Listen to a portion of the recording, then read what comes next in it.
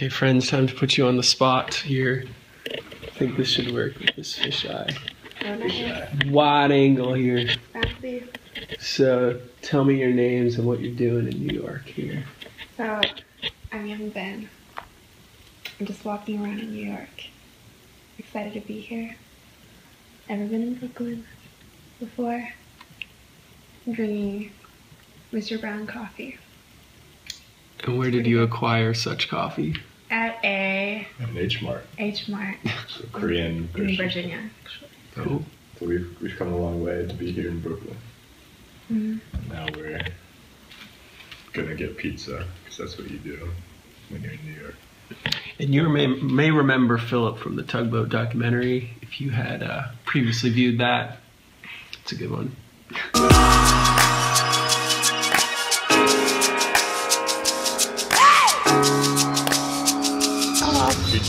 Future of humanity black. We'll be black and brown. You heard it here, ladies and gentlemen.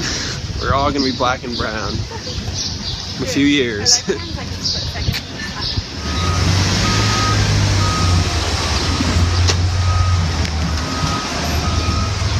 wanted some real pizza. Here we go. Just the real Italians.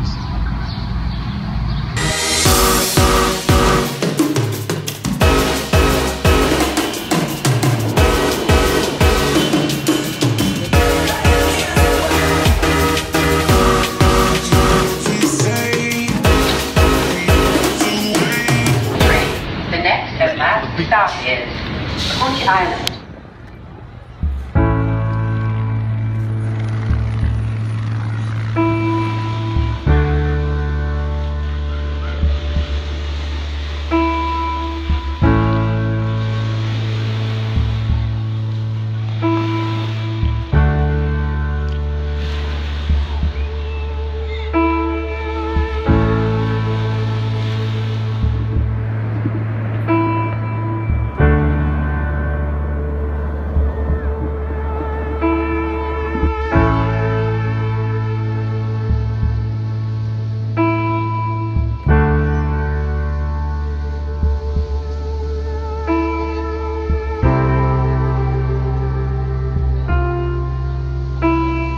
So the past few summers I've spent in the wilderness, um, working at different camps. Last summer I was in New Mexico, really really cool place, and I'm not doing that this summer obviously. So the beach is sort of the closest thing in New York to complete isolation in the wilderness.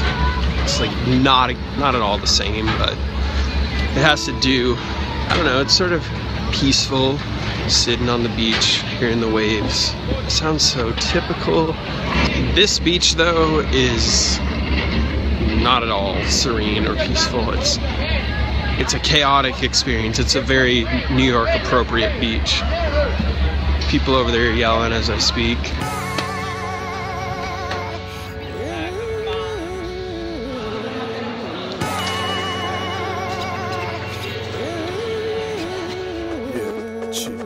Я предпочту, чтобы по уму встречали меня, но все же на всякий случай к вечеру из парчи одежина голова. So I work in an ice cream shop, number one rated in New York City.